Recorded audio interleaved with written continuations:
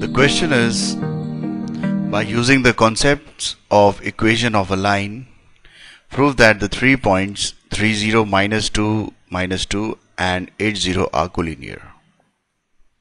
Now to solve this question we require certain concept. How to prove three points collinear using the concept of equation of line. Okay.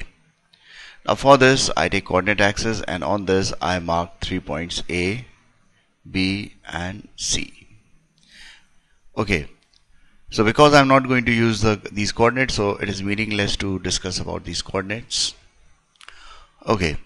So to prove that the three po points are collinear using the concepts of equation of a line we first of all calculate the equation of a line through any two points. So I'm going to calculate the equation of a line from the points A and B. Okay, and then we check that the third point satisfy the equation.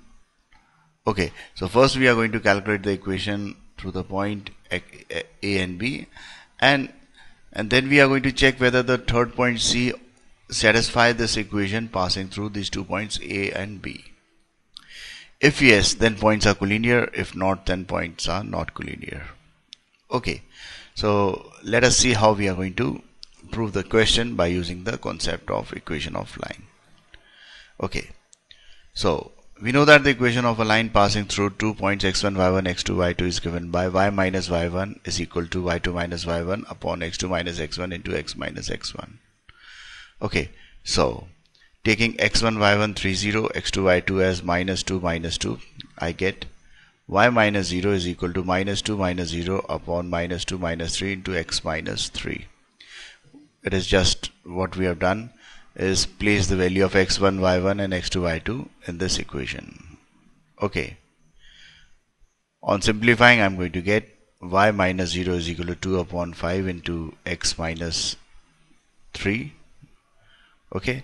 This 2, uh, this 2 is going to multiply to give me 2x minus 6 and this is going to become 5y and on rearranging the terms I'm going to get 2x minus 5y minus 6 is equal to 0 okay so this is the equation of line passing through these two points x1 y1 and x2 y2 we mark this as equation number 1 now we shall check that the third point 8 to satisfy equation number 1 or not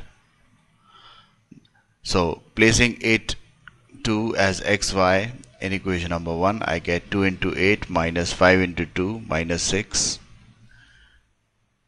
8 to the 16 16 minus 10 6 6 minus 6 is 0 so I get 0 is equal to 0 so therefore this the third point 8 to satisfy equation number 1 hence the three points are collinear. So this is how? By using the uh, concept of equation of a line we are going to prove that three points are collinear Okay. Thank you.